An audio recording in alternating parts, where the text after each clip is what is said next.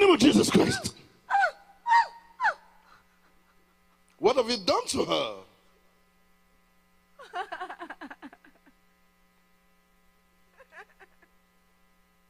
Confusion. How many of you are in this body? How many of you? Not telling you! Speak in the name of Jesus Christ. You are powerless. I have the power of the name Jesus Christ at my command. Try. I try, command you. try, try. How many of you are in this body?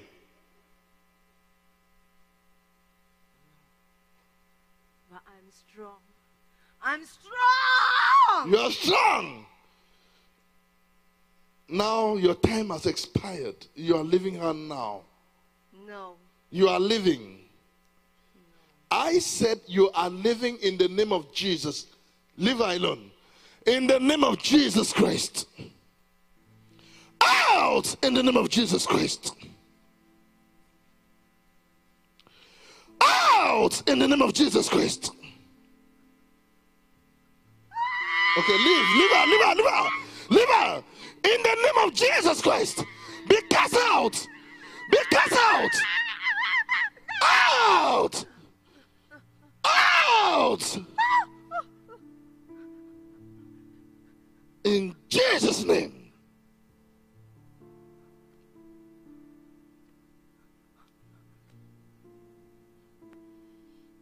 That's the end. In the name of Jesus Christ. Thank you, Lord. Can you please tell us your name and where you are from? I'm Ruth Tan. I'm from Singapore. Ruth, did you come all the way from Singapore to this conference? Yes, I did.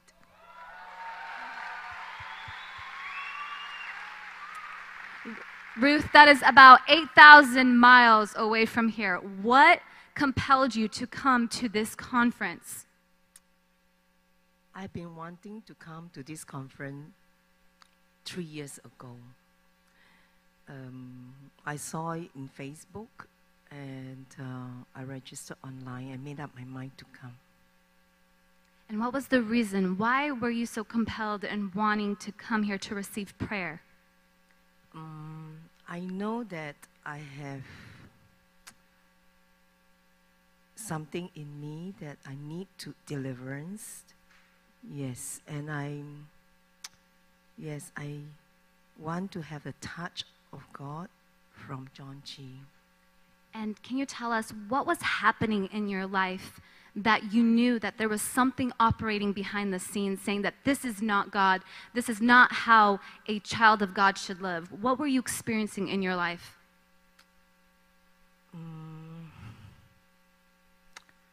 I felt like I'm being caged and my marriage break down after 25 years then I realized that my husband hid his homosexuality from me for 25 years. I did seek all help. Counseling and everywhere was blocked, rejected. Friends left me.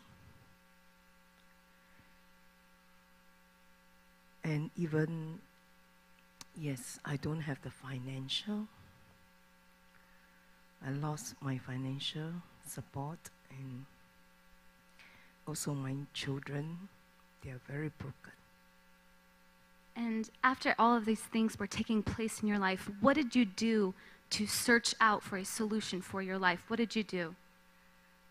For the first three years, I didn't know what to do. I was quite depressed. I did look for all kinds of help. Yeah, and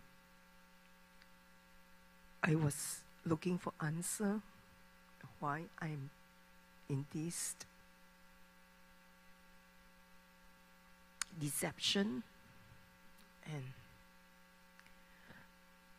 well the lord did give me directions as i continue to cling to him and the next three years, the Lord revealed to me that I need a deliverance. So um, I went to many places for deliverance, but they failed to deliver me. I can battle for one hour, there's no deliverance. And can you tell us when you came here and you were here at the prayer line, can you tell us what they just saw? What were you experiencing and what happened in the end? Mm, at first, yeah, just like normal, once I'm being touched, I will start to manifest. But this time, actually, I have the confidence that if I manifest, John Chi will deliver me. So, but he actually walked away a step, and I thought, okay, that's it. But he came back for me, and I was so glad. And